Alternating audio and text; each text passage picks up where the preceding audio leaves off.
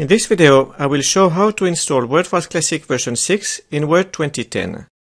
But first, let's see which editions of Office 2010 are compatible with WordFast Classic and which are not. You can use WordFast Classic with any of the following editions. Home and Student, Home and Office, and Professional. However, WordFast Classic is not compatible with the Starter edition. You can check the edition you have by selecting File, Help. Here, I can see I have the Professional edition. Also make sure you did not install the so-called Click to Run version. If you have a localized version of Office, it may be called something else, for instance, Click und Los in German or Démarrer en un clic in French. While we're still in Word, let's check a few security settings and make changes to them if necessary. File, Options, Trust Center, Trust Center Settings. Under Trusted Publishers, if you see an old, expired certificate for WordFast LLC, remove it. Under Trusted Locations, make sure the startup folder is listed. Under Trusted Documents, both settings should normally be unticked. Under Add-ins, make sure Disable all application add-ins is not ticked.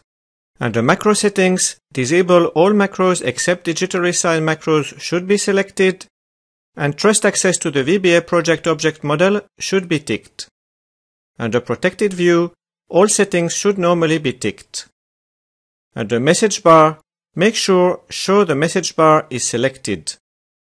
The last two options, file block settings and privacy options, shouldn't affect the installation of WordFast. I now close Word and I go to wordfast.net. I select Products, Download. If you have a valid WordFast Classic license, do log in with your personal data. If not, click on Proceed in demo mode without logging in. I have a license, so I log in. I click on WordFast Classic 6 in order to download it.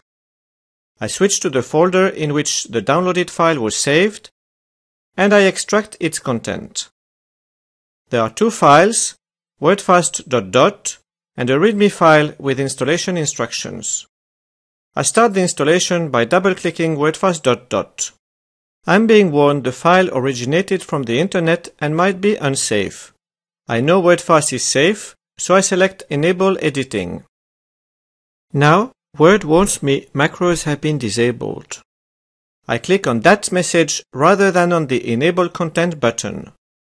I then click on the new Enable Content button and I select Advanced Options. Word displays a security alert related to macros. This macro has been signed by WordFast LLC and I can tell Word this is a trustworthy company. So I tick Trust all documents from this publisher and I click OK.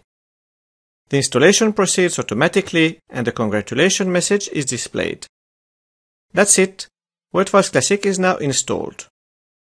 Word will close and restart.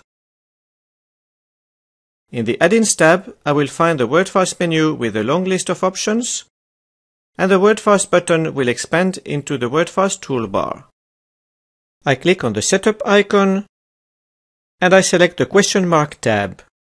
I can see I'm running version 6.01g in license mode. Thank you for watching. Hit the like button if you found my video useful and do subscribe to my channel for more similar videos.